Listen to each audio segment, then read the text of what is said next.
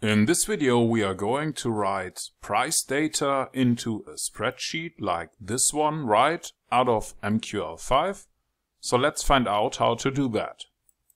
To get started, please click on the little icon here or press F4 on your keyboard. Now you should see the Meta Editor window and here you want to click on File, New File, Expert Advisor from Template, Continue I will call this file Simple Spreadsheet Writer. Click on Continue, Continue and Finish. Now you can delete everything above the onTick function and the two comment lines here. We start by creating static variables for the last high and the last low. A static variable will remember the value inside of this function for as long as our expert advisor is running. Afterwards, we use MQLrates to create a price info array. Because MQLrates is a structure that stores the information about prices, volumes and spread. Afterwards, we use array set as series to sort the price info array from the current candle downwards. And now we can fill the array by using copy rates for the current symbol on the chart and the currently selected period on that chart. We want to start with candle 0 and copy the price data for three candles into our price info array. Now let's check if we have a new candle. And that would be the case if the value for last high is different than the high value for candle 1 in our price info array. And we also want to check if the last low value is different than the low value for candle 1 in our price array. Now we can start to write our file. And to do that, we first need to define a name for the file. I will call this file spreadsheet.csv. CSV is a file extension that is recognized by most spreadsheet calculation programs like Excel or LibreOffice. I think it stands for comma separated values. Now that we have defined the name, we want to open the file. That can be done by using file open.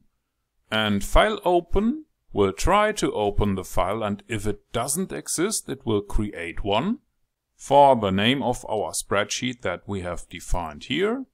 And we need to pass a few parameters file underscore read and file underscore write will open the file for read and write access. This is the file mode. It is called file underscore CSV. And we are going to use the ANSI mode to write the file. Now when you mark that and press F1, you will learn that we can use ANSI mode or Unicode mode.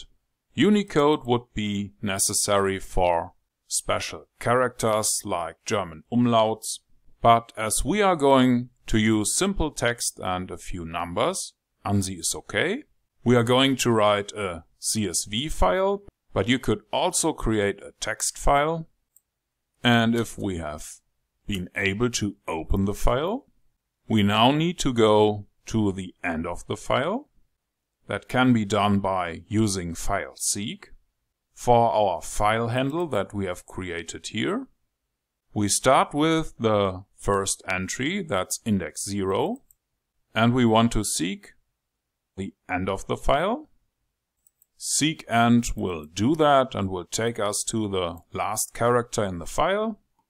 I want to do that because I want to append the values and not delete the former content of the file. And that can be done by using file write for the spreadsheet file handle, we are using commas. I'm going to write a descriptive text, followed by the value for the candle one in our price info array. And the first one is the time. This will create a timestamp, followed by the description high for the high price of candle one in our price info array and afterwards the low for candle 1. You could append further values if you are interested. For example, for the open and the close price. And after we have written the content, we want to use file close to close our spreadsheet until the next candle comes up. And to find out if the candle has changed, we are now going to assign the high price for candle 1 in our price info array to the variable last high and the low price for candle 1 in our price info array to the last low because the current values for candle 1 will be the last values the next time this function is called. Let's add a comment statement here for the last high and the last low. So we have a chart output while the expert advisor is running. And that's basically it. If this was too fast for you or if you have no idea what all the code here does, maybe you want to watch one of the other basic videos or maybe even the premium course on our website might be interesting for you. For now we want to click on View, Toolbar and click on Compile or press F7. That should work without any errors and if that is the case you can click on the button here or press F4 to go back to MetaTrader. And in MetaTrader you want to click on View, Strategy Tester or press Ctrl and R.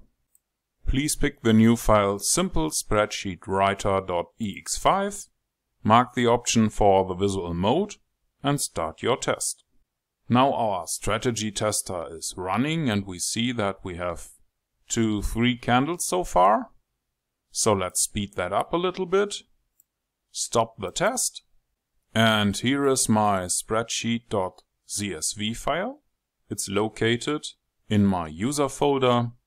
It depends on your operating system, but in my case it's below AppData roaming metaquotes tester inside of a folder that is called MQL5 files. You could also specify a file path if this kind of folder is too long for you. Now let's double click on the file and here we see that the CSV extension automatically will show the separated values here.